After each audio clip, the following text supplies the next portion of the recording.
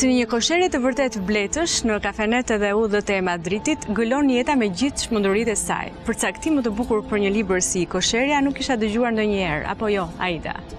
Po është vërtet një koshere, ashtu siç e ka dhe titullin, dhe është një atmosferë interesante e viteve 40, që në fakt është shumë e ngjashme me vitin 2022 që përjetojmë po sot. Kjo është e bukura e letërsisë, themi, që e sjell, risjell në kohë dhe atmosferat të, të këtyre viteve që ndoshta ne nuk i njohim të një qyteti si Madridi që ndoshta është dhe larg nesh, por njëkohësisht është, është dhe kaq afër në tematikat edhe në problematikat që, që trajton dhe është një një gëlim situatash është një roman koral i cili në një fund në fund të fundit është kaq i afërt me me aktualitetin sot.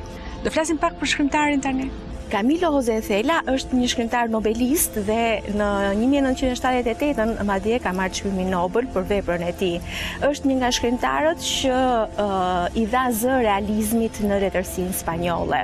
ka qenë një nga themi nga ata persona që i, i kanë bërë kundërshtim, pra e kanë kundërshtuar uh, regjimin e Frankos, dhe ky libër madje është shkruar menjëherë mbas uh, vendosjes së regjimit të Frankos. është një shkrimtar që uh, është nderuar me çmime të shumta, madje dhe me çmimin e princit të Asturias, me të cilin është nder.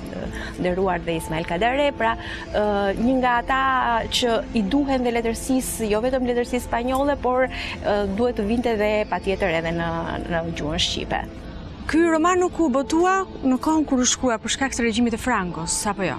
Po, libri në fakt nuk është botuar në, në Spanjë, në atë periudhë, por është botuar së pari në Buenos, Buenos Aires, sepse për shkak të disa dhe disa skenave erotike, një ngarkese themi emocionale shumë luftarake kundër Frankos dhe për këtë arsye ai nuk nuk arriti të botohej asnjëherë dhe në Spanjë është botuar në 1951-shin për herë të parë, pra shumë vite më vonë pasi ishte shkruar dhe botuar në në Spanjë. Në fakt, ne pikërisht e kemi futur pjesë të koleksionit Skandal që mbështetet nga Europa krijuese, pikërisht sepse trajton këto tematika të themi librave që kanë thyer tabu, që kanë thyer rregulla, që kanë thyer uh, atë kornizën e atyre uh, rregullave shoqërore që aq të ngurta në në në kohën kur janë botuar këta libra.